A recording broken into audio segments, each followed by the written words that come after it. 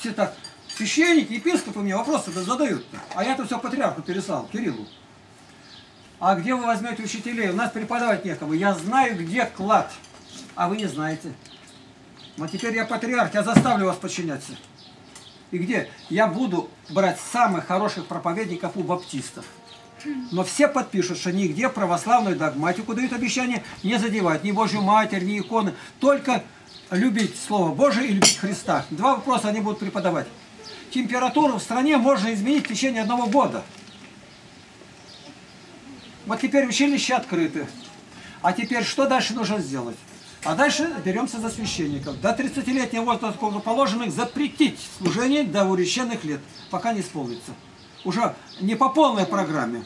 Пока не исполнится. У нас приехал иеромонах, он наш общий был там. А ему 25, он 5 лет сидит, ну, работает а на компьютере, но никто у него не благословляется.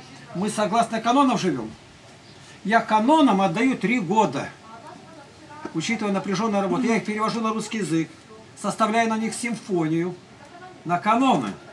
И нахожу, что сегодня, я спрашиваю, допустим, вот сидят епископы, у меня несколько епископов даже было, Скажите, сколько правил, которые действуют, ни один не может ответить. Ни одна академия, ни, никто не ответит, даже Осипов не знает. Сколько? А нужно знать, какие нарушаются. Я отвечаю, 989 правил с правилами Юстиниана. А без них сегодня 719. Из них 413 ежедневно умышленно нарушаются это 57%. Когда я сказал такую статистику, где печатают, так дайте скорее нам данные напечатать. Я показываю, какое правило в каждом соборе. Я этим занимался, со священником беседовал и нашел. Это торговля в храме, когда она запрещена Богом. Господь дважды порол выгонял. А у нас же там же валов продают, а быто свечки. Да валах было готово, сказано в Слове Божьем, о свечках ни слова. Вы совсем окупели. Не понимаю даже, о чем говорят. А где? Каноны гласят, даже в церковной ограде, Гамский собор говорит, чтобы торговли не было. Ну а торговать-то нужно что-то. Вот там и торгуйте, где вам надо. Торжники нашлись. Господь первый раз, когда изгоняет из храма, говорит, дом мой сделали домом торговли. А второй раз перед, это уже понедельник, когда выгоняют на страстной неделе, он говорит, дом мой сделали вертепом разбойников. Вертеп это значит жилище, ну, где вся их малина, там, где они собираются, где делят добычу. И это названо не что-то, а храм. А за счет чего же тогда церкви существовать? Но, вопрос. Вот задавай почаще. Господь усмотрел это. И Левиину колену, когда делил Израиль землю, 12 колен, а разделили на 11. Все обрабатывать будут землю, а Левийное колено не должно обрабатывать. Оно должно обрабатывать души людей. А все дадут ему десятину прибытков. Сколько собрала? Пять мешков картошки. Сколько? Полмешка отдай. Десятина принадлежит священству. Но теперь получается 11 колен, отдали священникам. У него 11 частей-то, а у всех осталось по 9. А священнику говорится, а ты десятину теперь посвяти Богу. Все предусмотрено. Вот у нас по Теряевке, у нас батюшка, у нас все бесплатно делается. Но десятину платится и все. А десятину 10 человек священник уже прокормили. Десятина Богом установлена. И Господь говорит, проклятием вы прокляты, что не платите да кто десятину. Кто будет десятину платить, батюшка? А? Кто же батюшкам будет десятину платить? Ну, прихожане, которые знают. Но батюшки, вот Бабушка у нас принесет наши, наши прихожане уехали в Грецию, и она там сразу пришла, и отец Григорий, я десятину принесла. Он говорит, что такое? Он не знает. А когда он разузнал, он вот так вот не давать, не возьмет. Ему десятина от какой-то одной вдовы. Что она значит? Когда он освещает, он другое, он сто раз больше получает торговлей. Свечки, вот когда исповедуется, много исповедников, а вот у нас в корзине приносят, ставят. Маленько там полежали, теперь опять на продажу. И несколько раз одни и те же свечи. Это не воровство. Свечи вот настолько не догорают, гасят. У нас в уставе написано, свечка должна догореть и погаснуть. Почему? Все сожжения жертвы, Библия говорит. Ты же каждый день читаешь «Помилуй меня, Боже», 50 псалом. Все сожжения, все сожжения, ты ну понимаешь, что такое? Это не половина. Оно догорело и погасло. Мы ничего не делали, мы просто вернулись к апостольским временам. И у нас торговли нет. Мы воску закупили сколько надо, чисто живущие вдовы там лили свечи, положили пачки, они пахнут ароматным медом. И батюшка сколько надо ставит свечи. У нас все время свечи горят, а торговли нету. У нас торговли вообще нет. И вот э, налоговая служба вызвала меня, я староста. Ну и деньги им нужны. Ну что торгуете, у нас нету, а за крещение у нас бесплатно. Они из кабинета в кабинет забегали, ну вы же православные, опять каноны там свои там смотрят. Вы православные, у нас торговля, у нас деньги вообще не появляются. У нас деньги где бывают? Вот нужно собрать, рожениться, собрать деньги, купить что-то там ей, люльку, там что-то пойти. Кто-то заболел, кто-то бывает, э, ну, нуждается. Только сбор сделали, и тут же все отправили. Приехали к нам из библейского общества, у нее делали сбор на перевод на алтайский язык, там этот, уиродский.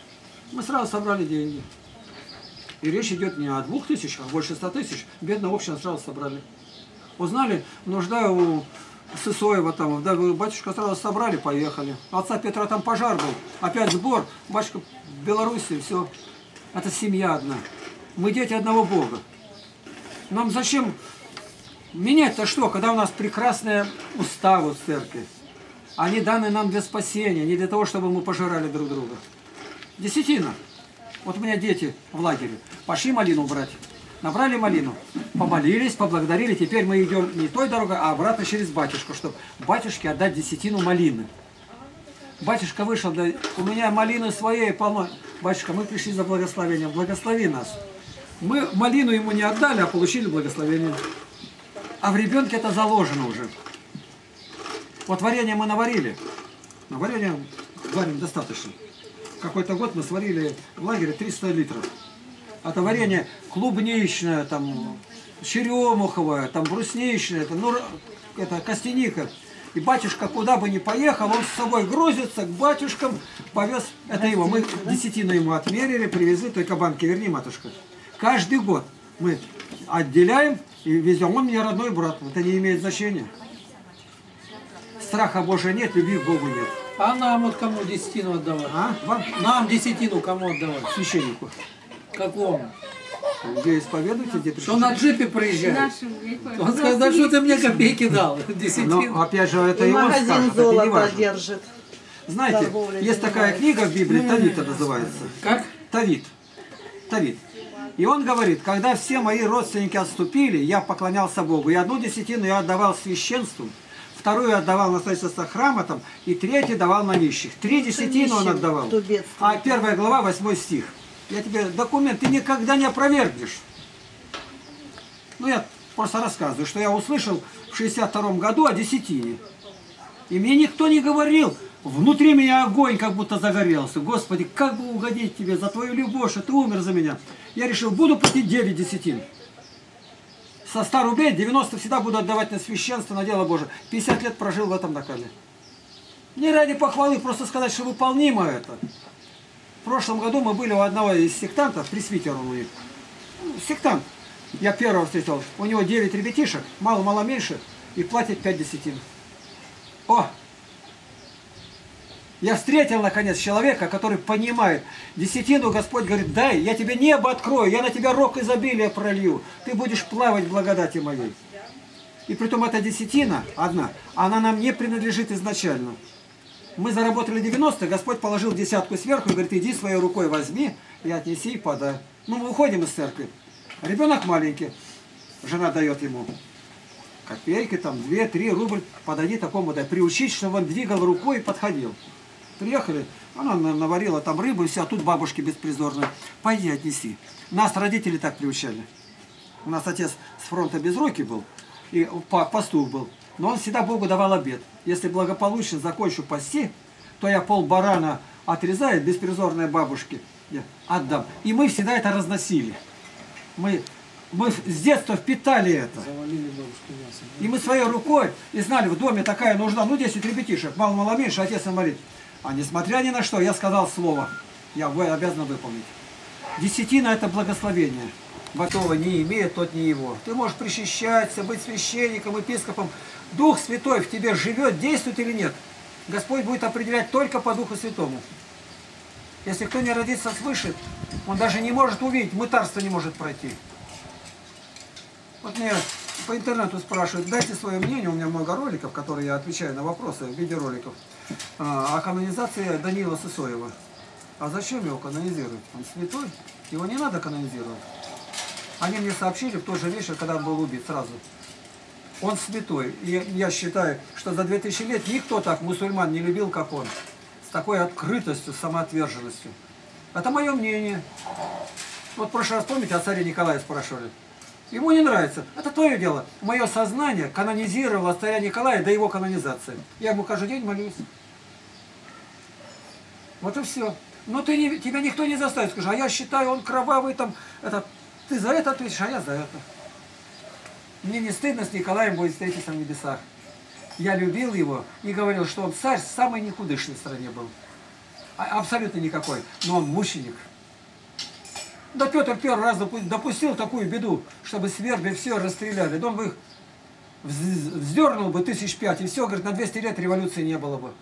Но он христианин, как он, он этого не сделал. И этим он величественен. Это надо по полочкам разложить. Я однажды вопрос задавал, почему царь такой и дружил так близко с Распутиным? Прошли годы, я теперь по-другому. Почему такой человек с такими откровениями как Распутин дружил с таким человеком, как Николай, который не понимал ничего в этом деле. Он больной, на него покушение было на Распутина. И он телеграмму, папа, не начинай войну, не делай мобилизацию. Пропадешь ты, дом твой, все погибнет, государь. Он ему телеграмму давал. Ему откровение было, царь не понимал. Война объединит наши силы. Объединила? Войны-то не было, революции-то не было. Народ устал в окопах, ну а дальше да. все легко. Войска, народ под ружьем. Так что Григорий Ефимович Распутин видел намного дальше, чем сегодня политики видят. И это надо видеть. Просто видеть, молиться, и Бог открывает. Вот сейчас занялись этой канонизацией. Вы еще не знаете, что было? Около 35 человек, которых канонизировали, патриархия деканонизировала, из списка святых вычеркнули. А в их честь уже храмы строились иконы написаны, в честь их людей имена называли, и вдруг деканонизация. Это как? И народ еще не знает. Высшие календарях, просто там мы сравним, а их нету. Стали разбираться, деканонизация. Ну, католики деканонизировали. Они из списка святых Николы Чудотворца убрали, там Георгия Победоносца. Это их дело. Но тут-то совсем другое. Оказалось, за этими людьми такое числится, что они предавали других людей на растерзание.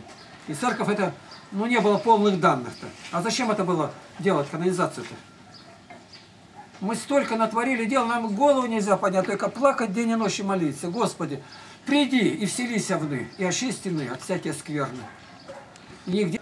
Наук Цепенникова проводила и 100 э, групп. И оказывается, на 300 крещенных только один ходит в церковь. Ну что, 0,3%. На 0,3% вообще ничего нет. И который ходит, он еще не знает. И это все опубликовали, называется «Из тьмы язычества». Это перепечатала церковная газета «Алтайская миссия». Она пять лет потратила на это, показать, что люди считают, священники, носители там мрака, церковь это стяжательница. Вопрос задает, кто так считает? 95%. Она количество, процентовку выводит. Новая опять а там у меня в книге записано. А какой выход? Учить надо народ. Люди вообще ничего не знают. Мне пишет одна адвентистка, 84 года. Адвентистка. И у нее Пишет вторая группа по инвалидности по глазам. И она где-то... По 70... интернету пишет? Письмо а, на бумаге. А. Письмо. И она э, пишет э, где-то 72 что ли места или 74 места из Библии мне привела места. Я говорю, точно хотела знать Евангелие. Подошла к батюшке, отец Ануфрий. Я вот хочу Евангелие знать. Зачем тебе Агафья? Ты в церковь ходишь? Хожу, батюшка.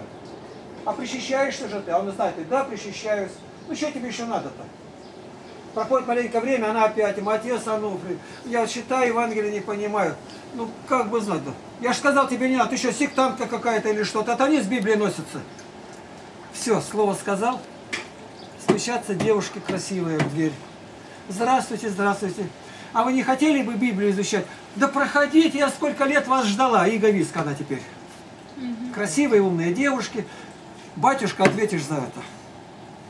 Да только она и есть. Да. И у нас точно так же. Вот соседка. Ян Златоуст говорит, если одна овца погибнет по твоей небрежности, священник, тебе всей жизни не хватит рассчитаться, всей жизни за одну, а их миллионы гибнет. Это я говорю то, что я только соприкасаюсь. Как, надо работать? У нас вот тоже живой пример. Вот Зи- Зина э, жила, а у них соседка. Тоже пошла в церковь.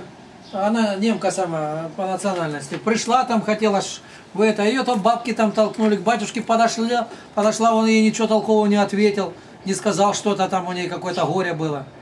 А потом вот так как-то случайно кто-то к ней также вот эти вот подошли приятные Баптисты, это. И она так и, и вот сколько лет она у них И она другим была. теперь рассказывает, что я была безбожницей, Да. а она не говорит, что она была православная. Так она, э, нет, она умерла, и м, они ее хоронили, и мы, правда, были этом. лютеране. Баптисты. Баптисты. И там такое, такие поминки шикарные закатили с постной. И тогда Ну и болела, они Да, приходили. болела, они за ней там приходили, ухаживали. Интересно, Там, моя мама пригласили. Вообще. Ну, А она, пошла, своих детей хватает. Маму мою, Марию Егоровну, пригласили. Православная там свадьба была. Ну как, выпьем. Агнюш, Горько. Спасибо, Все. пожалуйста. А потом пригласили баптисты. а это там на И она сходила, посмотрела и пришла, легла и только охали. Господи. Господи, да как у них хорошо. Читают Слово Божие, подарили Библию, поют, благословение, никакой выпивки. Она, она православная, но она не может не делать сравнения. Если мы любим Бога, в первую очередь, мы должны позаботиться о смиренномудрии перед Библией. Смиренномудрие – это то, чего сатана больше всего боится. А сегодня смирение